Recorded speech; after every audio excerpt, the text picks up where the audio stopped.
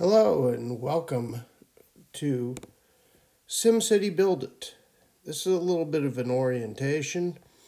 Big shout out to Sim-Antha, Samantha, who has really entertaining videos on this subject. So when you play SimCity Build It, it's a game where you're the mayor of a city. You're in charge of laying out the city, building residence for your for your Sims, uh, planning for expansion, producing materials, manufacturing goods. So we're going to take a little bit of an overlook today, and we're going to start in the upper right hand corner of the screen where you see this. Uh, gear with a number in it, that's your level. And then the circle going around, it shows how much progress you've made toward the next level. If we click on that, we'll see this screen and gives you the name of your city. Mine is called Cordoba. You can add a description of the city and then the experience, which will tell you how many points you need to level up. And in this box, it also shows you what items will be unlocked in the next level. And this is important because it adds to your planning so you can be prepared. Because sometimes you'll need infrastructure or you'll need buildings and you'll want to know how much they cost so you can budget for them. Continuing on the upper right hand corner, we have our population, their happiness, and your city storage. The city storage is a major pain for most players. You never seem to have enough. So the city storage shows you your raw materials at the top, the items you've manufactured in your shops, and then specialty items. This first group is for my Parisian expansion, and you need these to upgrade your residences. This next bar, the lower bar, it shows you how much you need to increase your capacity. And I'm at a level where I need 10 of each, so you see I'm quite a ways away from that.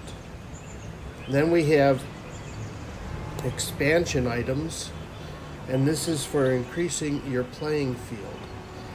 These items, these two sets of items here, can be gotten a few ways, but one of the main ways is by talking to your Sims. When your Sims have comments, they show up in bubbles, and you click on, you pop the bubbles, and if you pop enough bubbles to show that you're a good listener, they will reward you with some of these gifts. You can also get these in other ways by buying them in the global market or going on mayoral junkets, which I'll talk about in another video. Moving over to the top right hand side of my screen, this is your city treasury. We have platinum and gold keys. I have not reached the level to achieve platinum keys. The golden keys are hard to get at first, but they start to get a little bit easier. And these are used for building specialty items and some parks and recs, and they're very handy to have. Simoleons are the lifeblood of the city, or so my Sims tell me. And this is the main part of your budget because this is the everyday buying and selling of goods and taxes that you collect. And you'll need these to purchase items or to build some uh, buildings, specialty buildings, uh, shops, factories, all the buildings, categories of buildings. Here's one of those bubbles.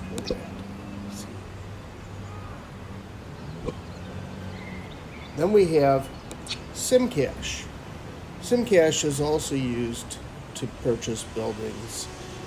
And this is hard to come by, but the way you come by these mostly is by completing assignments, the city achievements. We're going to look at the roads here. And in the roads menu, you can build roads simply by dragging your finger. And I don't want that one, so I'll hit the X. You can also see the density of your traffic.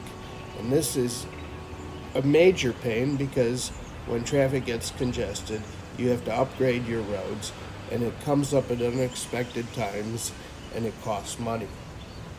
You can also bulldoze the roads if you want to change the layout or a road's not in use.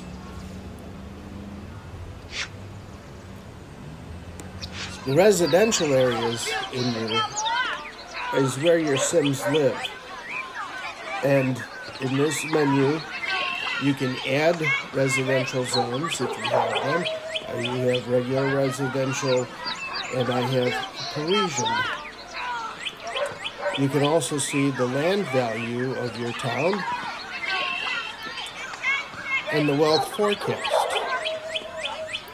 Keeping the properties in this orange region will help increase the happiness of your Sims. Let's take a look at our shops. We have a bunch of shops already built. I have them all in a line there. The nice thing about this is you can see what's upcoming and you can see how much it's going to cost. So when I get to level 18, I'll need $17,000 to build a donut shop. That's part of your budget. Your factories produce your raw materials. They also produce pollution. You see the brown area is the amount of pollution. You want to keep this away from the Sims. The Sims do not like living near polluted areas. So you build your factories in remote areas. The government is a large part of the game. You have to provide infrastructure. There's a bubble to keep your city up and running. It also has specializations such as parks and landscaping. And at the next level, I'll have a beachfront area. So we look at these power, and it'll give you your capacity and the demand currently placed on it. And as your if the demand increases, you can add more. Here are your options at the bottom. You also have to provide water for all of your Sims so they can make coffee. They also produced waste, so you have to have sewage and waste management. Then we come to police and fire. So I'm well covered and I have areas to build residences that are covered by the fire and the police. Now because these are not in the same place, the coverage may be slightly different. So you'll have areas that are not covered. And when you click, at, when you are looking at these, you'll see I have a police station there, police station there, and a police station there. I have not achieved a need to provide health clinics, hospitals yet, but that will be coming up shortly. That's at level 16. I'm at 14. And our government buildings. So we have a town hall, a mayoral manor, and right now I have the mayor's mansion. At the next level, I'll be getting the Epic Projects, which is free. Oh, that's at level 16.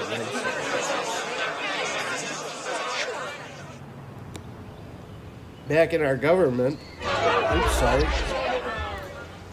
We have our specializations. We have parks, which increase the happiness and boost your population. And you'll see that my parks have boosted my population 20,000. And these blue lines indicate how much it, the parks have boosted your population and happiness. Landscaping is also a way. It doesn't provide as much, but it adds to the aesthetics of your town or your city. You'll see I have a large area here of water that doesn't do much for my population, but it really looks nice.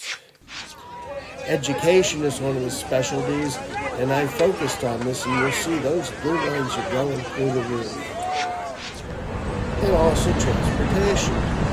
We want to provide ways for your citizens to get around town and to go visit their relatives or neighbors. And this is where that happens. That's all I have. So, the bottom left hand corner of my screen, we have three buttons. One is your city journal,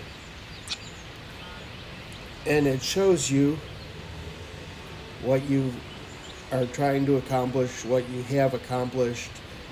And you'll see there are three checks in each of these. And as you achieve these, you will get special gifts. The one on the left with the people are your friends or your social networking. Let's pop these bubbles. Up! Oh, they just gave me something. I didn't see what it was.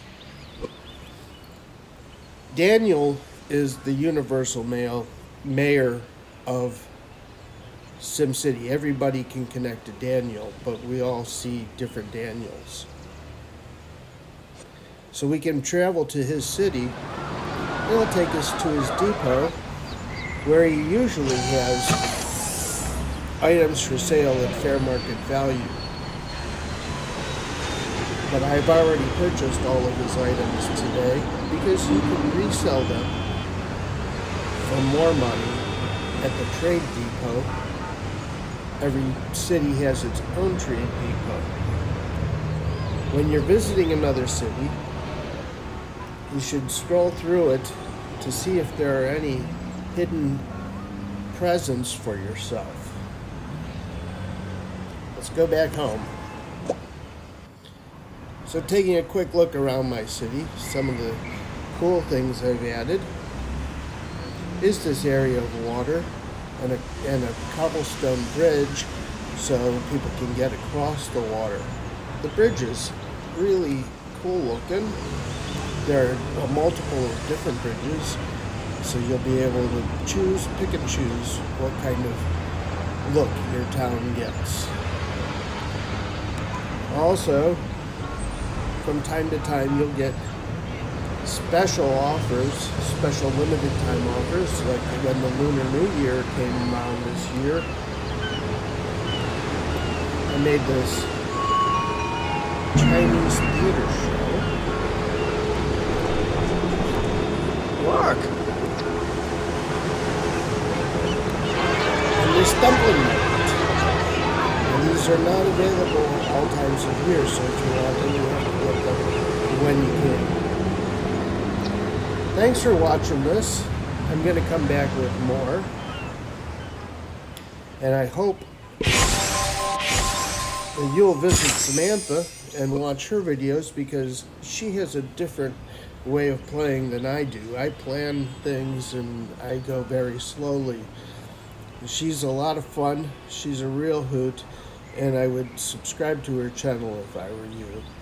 So that's all for now. Thanks for watching.